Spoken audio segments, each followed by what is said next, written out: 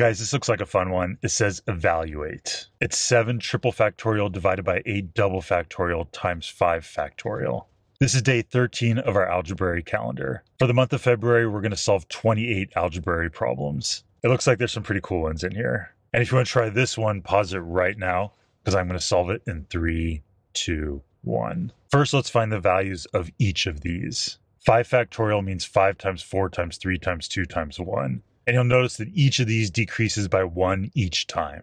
Now with 8 double factorial, we start with 8, but then we go times 6 times 4 times 2. We decrease by 2 each time. That's what the double factorial signifying. Instead of going down by 1 each time, we go down by 2 each time. And for the 7 triple factorial, that's going to start with 7 and then times 4 times 1. We're going to decrease by 3 each time. And now we know what each of these are equal to. We can clean it up a little. This times 1 isn't doing anything, and this times 1 isn't doing anything.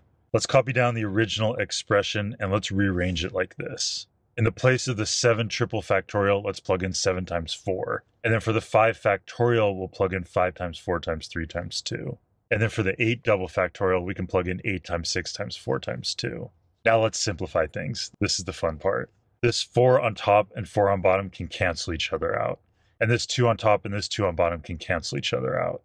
And now we can change this 8 into a 4 times 2 and this 6 into a 2 times 3. And these two fours will cancel each other out and these two threes will cancel each other out. So we have 7 times 5 over 2 times 2. Well, that's going to be 35 over 4. And this is the answer to our question. All of this simplifies to this. Let's put a box around it. How exciting. And here's tomorrow's question. It's x to the fifth plus x to the fifth plus x to the fifth equals 3 to the 11th. This looks like a fun one.